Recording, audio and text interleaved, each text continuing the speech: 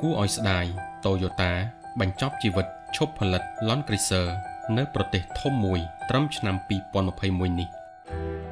មិនទាន់ដាច់ឆ្នាំ2020ស្រួលផង តាំងពីខែតុលាក្រុមហ៊ុនផលិតរថយន្ត Toyota បានប្រកាសថានឹងបញ្ចប់ជីវិតរបស់ model Land Cruiser នៅសហរដ្ឋអាមេរិកឈប់ផលិតត្រឹមឆ្នាំ2021នេះ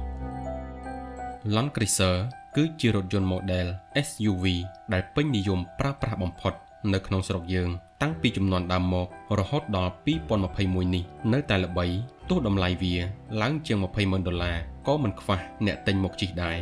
តែអ្វីគួរឲ្យសោកស្ដាយគឺ Toyota ឈប់ផលិត model នេះលក់នៅទីផ្សារអាមេរិកហើយយើងក៏ឈប់បានឃើញឡាននេះនាំមកពីអាមេរិកទៀតដែរ SUV របស់ Toyota នេះត្រូវបានគេទទួលស្គាល់ពីកម្លាំងម៉ាស៊ីនវា ជាប្រភេទ Off-road ទោះបី SUV ក៏វាមិនចាញ់ Pick-up ដែរតួយ៉ាង Motor Authority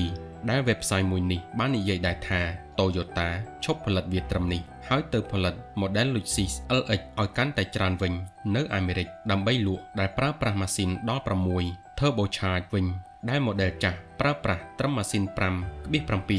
មាន8ស៊ីឡាំងដែលកំពុងប្រើប្រាស់រាល់ថ្ងៃនេះ លើកនេះ Toyota ក៏បានពលពាក្យសោកស្ដាយដែលនាំដោយសារ Motor Authority ដែលថា Land Cruiser នឹងមិនត្រឡប់មកវិញជារៀងរហូត លើទឹកដីអាមេរិកតែក៏មិនមានរឿងល្អដែរដែល model ផ្សេងផ្សេងនឹងចូលមកជំនួសអុកឡុកអាមេរិកដដែលជាពិសេស model Land Cruiser Heritage Edition ស៊េរីឆ្នាំ2021នឹងមកលក់នៅអាមេរិកជាមួយតម្លៃជាង80000ដុល្លារ